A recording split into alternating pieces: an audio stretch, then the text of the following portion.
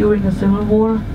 And thanks to him, we are celebrating, among others, of course, we celebrate 100 years of independence because he had been serving in the Russian army for many years and he knew the Russian army and he was able to come up with a strategy to stop this huge Russian army at this long Finnish border in the winter war. Hmm. On the left side we have our parliament building.